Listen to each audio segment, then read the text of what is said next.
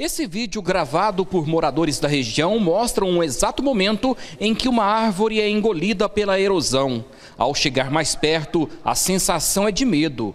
Tem cerca de 15 metros de profundidade e uns 10 de largura. O seu José Lázaro tem uma casa em frente à erosão e, por causa do problema, teve que alugar uma outra casa, já que a mulher dele tem medo de ficar no local.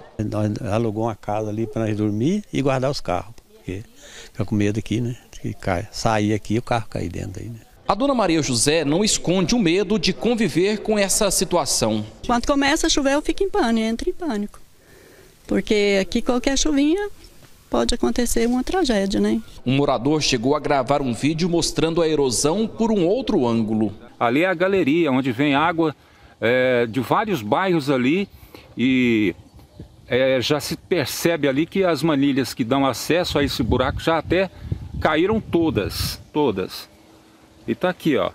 Esse problema acontece aqui na rua Gonçalves Ledo com a G6. Como a gente percebe, é uma ladeira e os moradores tiveram que improvisar com galhos, entulho, essa sinalização é uma espécie de barreira para evitar que carros, pedestres, ciclistas caiam no buraco. Maiara, essa ladeira aqui é conhecida no bairro, né? Bastante conhecida. Inclusive aqui toda a água fluvial dos bairros acima desce aqui, que foi o que ajudou a ocasionar todo esse problema aqui.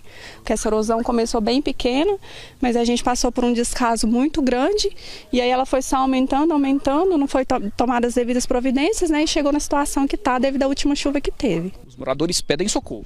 A gente está pedindo por socorro, principalmente os pessoal que estão aqui mais próximo aqui, né? Porque é de causar medo. A gente fica com medo nas próximas chuvas, porque aqui o terreno já está fofo, né? E como a água cai ali bate, então está comprometendo, vai descer tudo. Não tem jeito. Segundo os moradores, a erosão é antiga, mas de uns dois anos para cá triplicou de tamanho. E eles reclamam que a única coisa feita no local foi a sinalização, com cones e fita zebrada. As crianças da rua não podem nem vir aqui, né?